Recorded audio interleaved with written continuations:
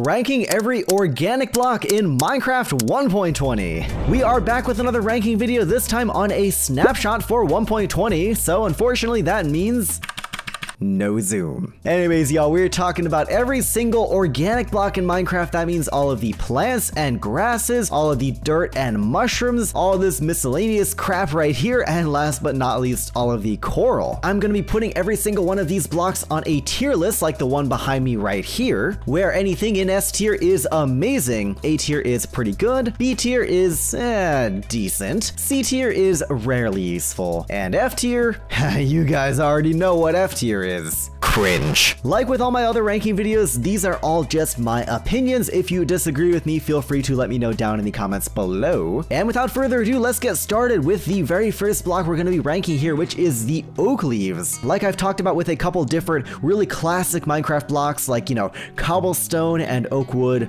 they're kind of overused, you know, they really give off the vibe of like 2012 Minecraft and uh, that's not always what you want. So unfortunately, these guys are going to be staying out of S tier. They're going to be going right in A tier, right there. The next two leaf types to be added into the game were of course the spruce and the birch leaves. And you know, I gotta say, I really like these guys. Whereas most of the leaf blocks just take on whatever color of the biome that they're in, like the oak and the jungle and the mangrove and all those other guys over there, these guys have a slightly different tinge to them, a slightly different hue, and I think that's really, really great. So these guys are both going to be going in S tier, believe it or not. I really like these guys. Next up are the jungle leaves, and well, these guys are pretty cool too. They're noticeably thicker than the oak leaves, which I think is pretty cool. They've got that funny little like light green patch on it I don't know if that's a flower or like a berry or fruit or whatever, but they're pretty cool looking. S tier. Dark oak leaves, uh...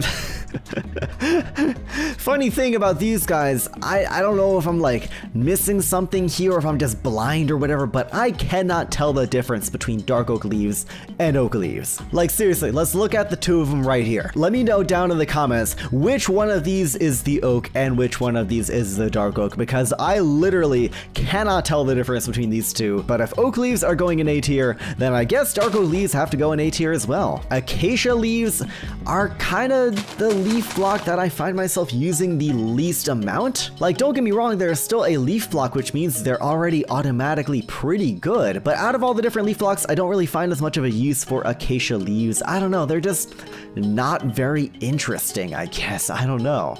B tier. Moving on up our list here, we got the azalea and the flowering azalea. And you guys already know, I love azalea leaves. I'm pretty sure every builder loves azalea leaves. The color is amazing. The fact that it doesn't change colors in each biome is really amazing too. They're S tier, no questions asked. The flowering azalea leaves have all those cool properties. And don't get me wrong, the pink flower is really, really lovely for like cottage core builds and where you're trying to make something really lush and vibrant and colorful, but you don't always want want that, which is going to put them down to A tier. And while we're talking about the azalea leaves, we might as well talk about the moss block. No explanation needed, instant S tier. Mangrove leaves are interesting. They're the newest leaf block, of course, added in 1.19, and I really like this cool vertical kind of stripy pattern we got on the leaves. Really great for willow trees, or really any kind of tree that has like drooping leaves that don't really stick out as much as say like droop down, you know? I wish they were a more interesting color because we need more interestingly colored leaves, but they are gonna go in A tier. The mangrove roots are pretty great because for the first time we have what's basically a brown leaf. So if you're trying to make, you know, like a dead tree or a tree in the winter,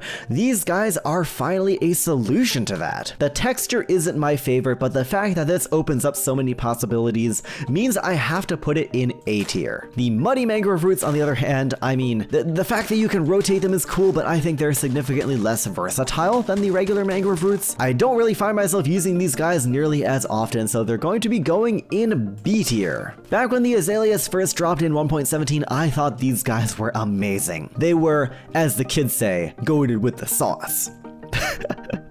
I'm sorry. But nowadays, I don't know, I'm kind of, my excitement has waned a little bit. Like, they're still really good for like interior decoration and making hedges and stuff.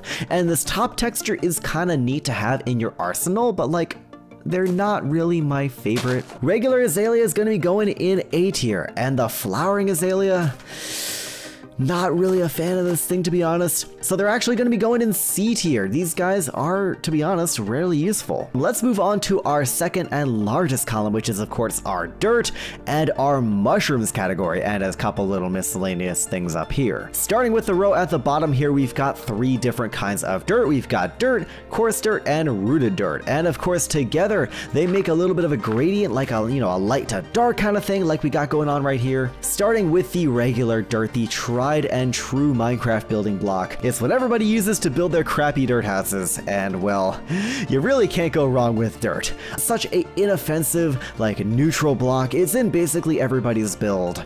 You really can't go wrong with dirt. So it's going to be going in S tier as well as the coarse dirt. Coarse dirt in many ways is kind of just like better dirt. Like the texture is more interesting, doesn't get converted to grass. Rooted dirt on the other hand, I can't always say the same thing for. The light texture is really nice, but I feel like dirt and coarse dirt kind of already have that covered. So I'm going to be keeping it out of S tier. It's going to instead be going in A tier. Next up, we have four different kinds of grass. And these guys aren't really all grass, but like I'm putting them in in the grass category, they're close enough. Of course, we have grass, we've got podzol, we've got Mycelium, and we've got the Path Block. Starting off with the grass, I mean, I'm ranking the grass block. Like, let's be real here. This is the face of Minecraft. This is the block that is literally all around me.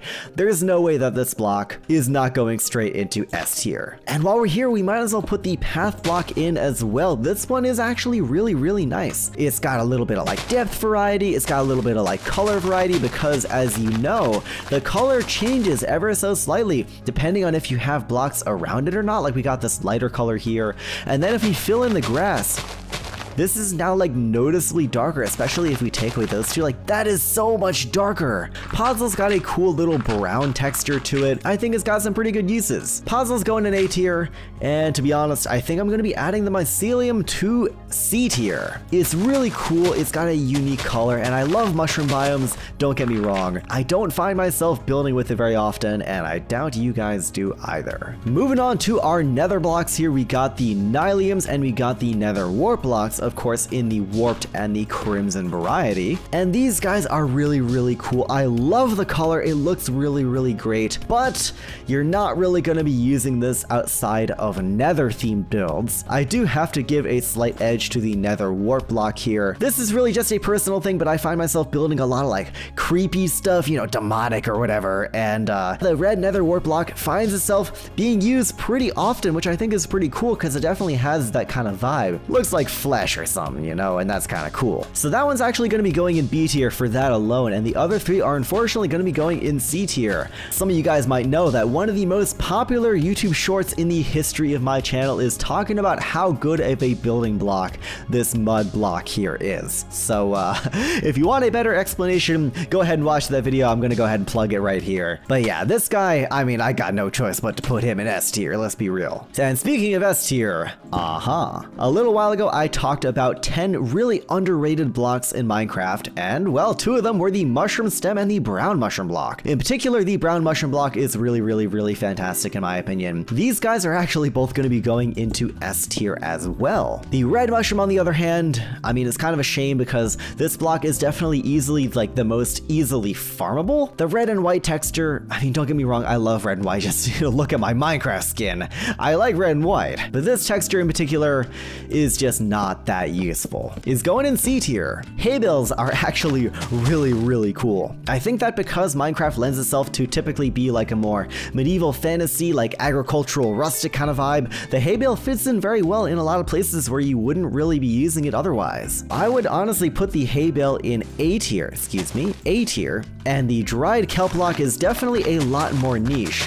But speaking of that underrated building blocks video, kelp block was also on that list. I really like that stripe on the side, and that plus sign on the top is pretty dope as well, and the dark green background color just looks really, really cool. It's going in A tier as well. And last but not least in this column here, we got Dust Sponge.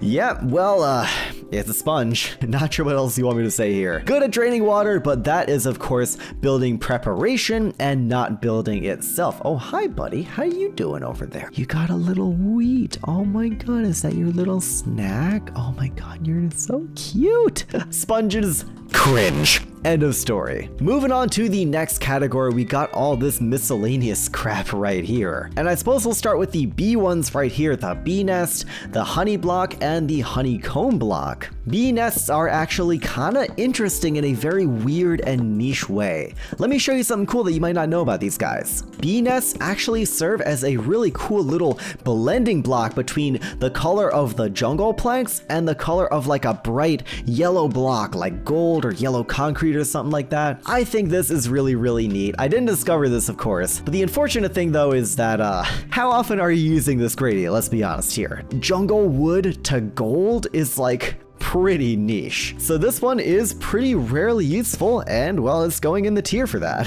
Honey and honeycomb are also, uh, not very useful. The honey blocks are slightly cool just because they have that little bit of transparency. You can make like a weird window or something. I think somebody on Hermitcraft did something like that. So they're gonna go in rarely useful, but uh, the honeycomb block, can't say I like this guy too much. I'ma be real here. Cringe. Moving on here, we're gonna be talking about melons and pumpkins. I mean, first of all, who doesn't love melons?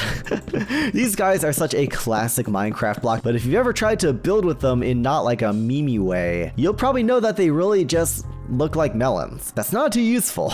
C tier. Pumpkins are going to be going in there as well. They don't really have too many uses. I know jack-o'-lanterns do have quite a bit of use as a light block in the early game, but like, we're not talking about jack-o'-lanterns. We're talking about pumpkins. They're not too useful if I'm gonna be completely honest here. Moving on here, we got slime blocks and uh, yeah, I mean, they're slime blocks. They're great in redstone, but of course this video is not a redstone video. It's a building video and um, they're not very good for building, are they? Cringe. And now we've reached the section of the video where we are finally talking about the new blocks in the 1.20 snapshot. The block of bamboo, the block of stripped bamboo, bamboo planks, and the bamboo mosaic. These guys look really, really cool. Keep in mind that this is just a snapshot that I'm recording this in, so nothing is permanent. If you're watching this video in the future, first of all, Thank you. I'm uh, glad the world hasn't blown up yet, but also, if the blocks look different, that's why.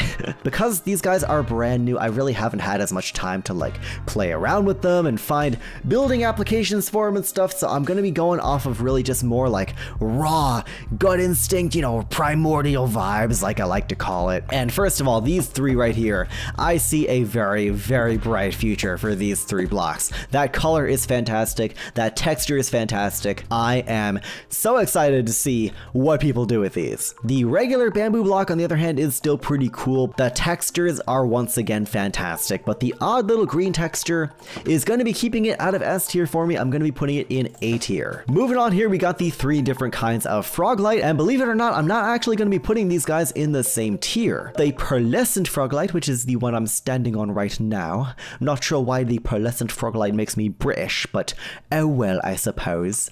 I'm sorry to my British viewers, I know that's terrible. Yeah, these guys, they fit better in like the more organic organic, earthy looking builds because they have that kind of color. The purple is really cool, but it's just slightly too weird, I guess. So I'm going to be putting these two kinds of frog lights in A tier, excuse me, A tier. And the purple one, the pearlescent one, is going to be going in B tier. Added in 1.19, these blocks are really, really cool in isolation. I really like how it's like a starry night sky, and the fact that it like gently pulses and blinks a little bit is really, really, really cool. Don't get me wrong. But let's be honest here.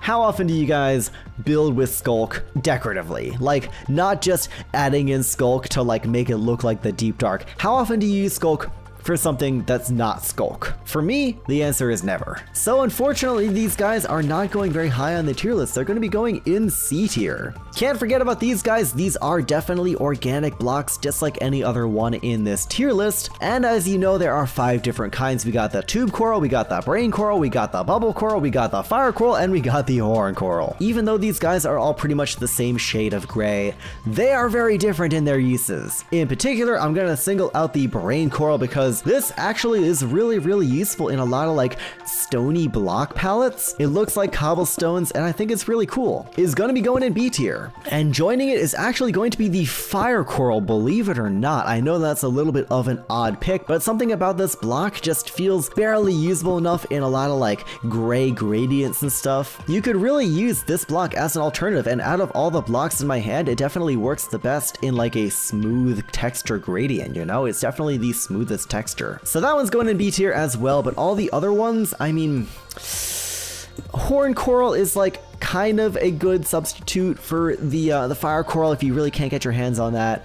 But uh, it, it, it's okay. Like I'm barely keeping this one at a cringe tier. I'm gonna be real here. It's gonna go in the bottom of C tier. But the other two, the tube coral and the bubble coral, cringe and cringe. And last up, we of course have the living coral, which comes in five delicious flavors. They're coral. They're really bright and vibrant and exotic, and that's really really cool. But let's be real here. These guys are are a massive pain to work with. The fact that you have to put them next to water or else they turn gray, the fact that they're only findable in one biome, the fact that you need Silk Touch to pick them up, I think there's a lot working against these guys even if they do look really nice and colorful. Gonna have to put Tube Coral in cringe tier as well as Brain is cringe, Bubble is cringe, and Horn is cringe. If you're wondering why I didn't put the Fire Coral block in cringe tier with the others, well, it's just because it's red, and I like the color red. If you don't like that explanation, well,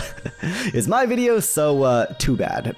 And with that, we have my completed ranking video of every single organic block in Minecraft 1.20. If you want a view of the entire tier list, here you are. And of course, if you violently disagree with any of my opinions, feel free to let me know down in the comments. I had a great time recording this, and I really do hope you guys enjoyed this video. If you did, a like on the video would be very much appreciated. Until next time, guys, this has been Leon, and I will see you all in the next Minecraft ranking tier list video. Take care, my friends.